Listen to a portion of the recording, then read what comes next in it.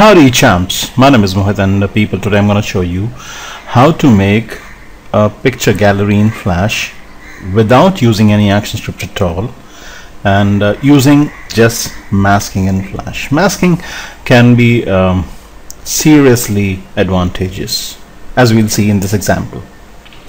Uh, have a look out here. This is the FLA file using uh, Adobe Flash CS6. This is the resulting SWF file. You can see the size is 776 KB and these were the four pictures that were used on the timeline. Let me double click the SWF file and show you what we have made.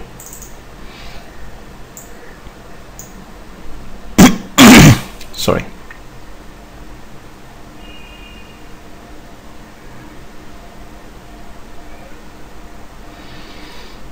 So you can see that uh, we go from the first to the second second to the third third to the fourth picture and then go back to the first picture.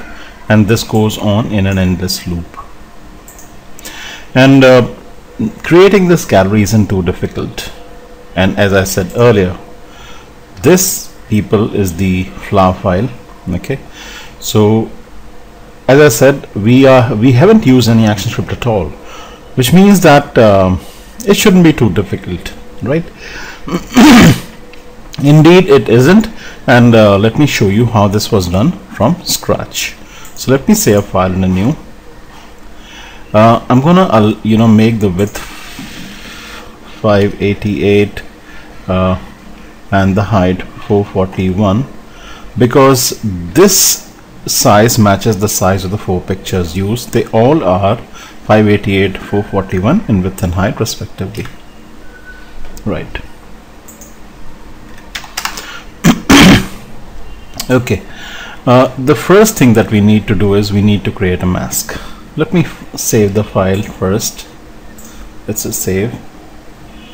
Let me call it gallery with mask. Okay.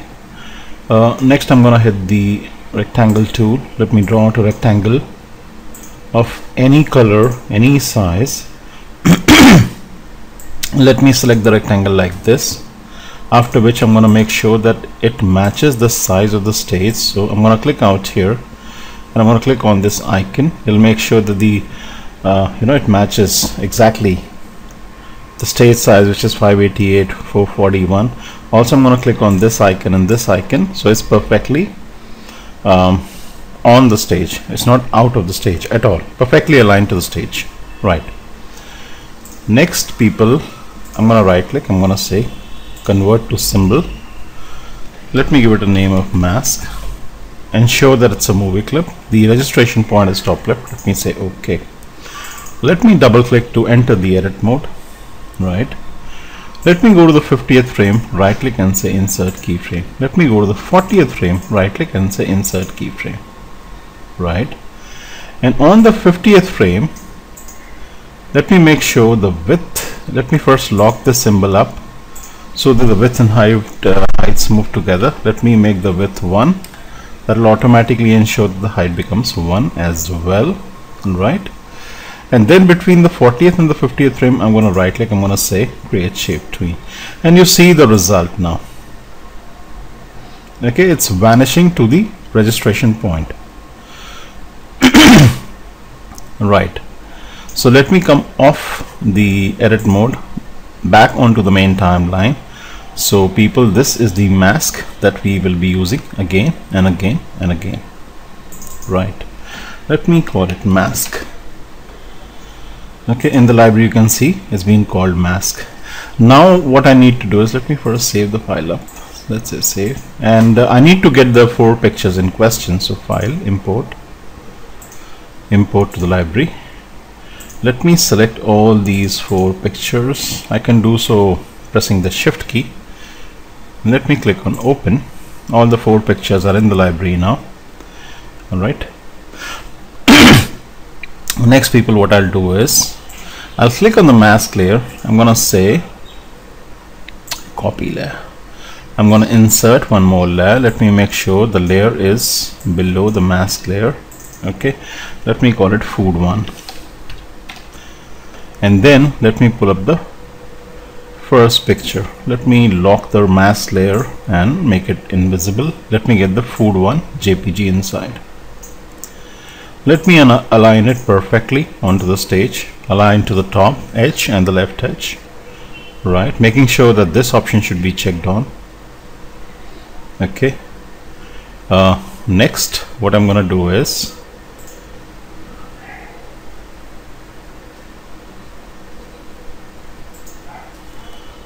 let me say paste layers.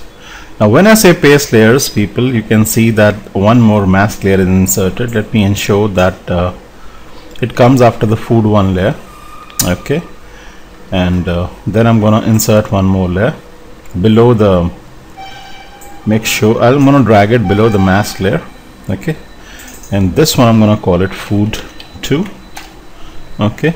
Insert the other picture in like this align it to the stage. Like this let me make the layers locked and invisible.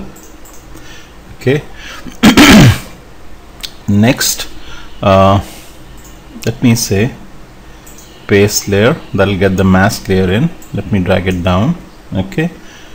Then let me insert one more layer. Let me drag it down.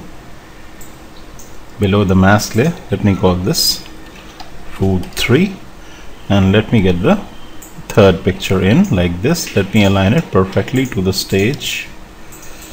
Right. Okay. Then I'm gonna right click I'm gonna say um, paste layer. I'm gonna insert one more layer. Okay. I'm gonna make sure that this layer comes here at the bottom. I'm gonna drag it down and this layer here. Mask layer is always going to be above the pictures layer okay. And uh, this I'm gonna call food for right. So on the food for layer let me make it invisible. Let me lock it as well. On the food 4 layer let me pull out the last picture align it to the stage like so. Right. And uh, now all the four masks and the, all the four layers are on the uh, timeline. And in the end I'm gonna insert one more layer. Make sure it's the last layer sitting at, in the you know sitting at the bottom.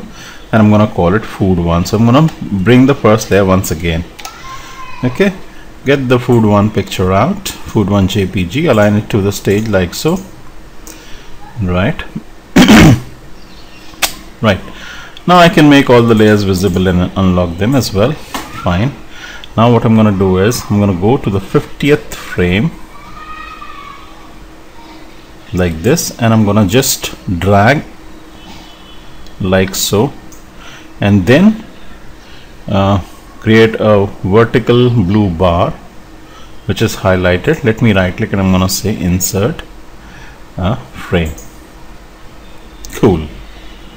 After which uh, please notice carefully as I go on select the first and the second layer the mask and food one layer and do nothing right? Then select the mask and food 2 layer.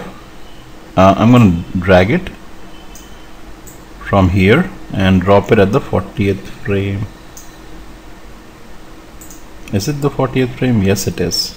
Okay 10 frames before the uh, you know these two frames end. They, they ended the 50th frame so I'm dropping uh, you know the other two layers 10 frames just before the 50th so at the 40th frame. Okay. Likewise I'm gonna select these two layers click out here and then drag it till I actually reach the 80th layer. So that's 10 frames before this. Right? Make sure it's the 80th layer